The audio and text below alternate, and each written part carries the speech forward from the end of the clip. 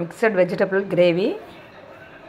என்ன கத்திரிக்காய் அவரைக்காலாம் இருந்துச்சுன்னா சூப்பராக இருக்கும். இல்லை இவ்வளோ தான் என்கிட்ட காய்கறி இருக்குது இந்த காய்கறிக்கு ரெண்டு வெங்காயம் தக்காளி அரை ஸ்பூன் காரத்தூள் ஒன்றரை ஸ்பூன் மல்லித்தூள் கருவேப்பிலை கொத்தமல்லி. வெஜிடபிள் எல்லாம் கட் பண்ணிட்டு வாங்க கிரேவி பண்ண போகலாம் மூணு ஸ்பூன் ஆயில் விட்டுக்கலாம். எண்ணெய் காஞ்சிருச்சு. குட்டி ஸ்பூனில் ஒரு ஸ்பூன் சோம்பு போட்டுக்கலாம். நெக்ஸ்ட்டு வெங்காயம். வெங்காயம் ஒரே ஒரு பச்சை மிளகா போட்டுருக்கேன். வெங்காயம் நல்லா ரோஸ்ட் ஆகிடுச்சு தக்காளி போட்டுக்கலாம். அரை ஸ்பூன் கல் உப்பு போட்டுக்கலாம். தக்காளி வெங்காயம் வதங்கிருச்சு. இப்போ வந்து மஞ்சத்தூள் போட்டுக்கலாம்.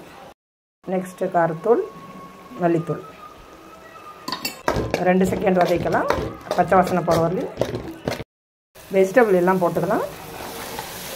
ரெண்டு செகண்ட் வதக்கலாம். தண்ணி ஒரு டம்ளர் விட்டுக்கலாம். ஏன்னா காய் குட்டி குட்டியாக தான் கட் பண்ணியிருக்கேன். சீக்கிரம் வந்துடும் அஞ்சு டு ஆறு நிமிஷம் வேகட்டும். இந்த டைமில் உப்பு பார்த்துக்குங்க உப்பு காரம் பார்த்துங்க பத்தெல்லாம் உங்கள் டேஸ்ட் இருந்த மாதிரி போட்டுக்கோங்க.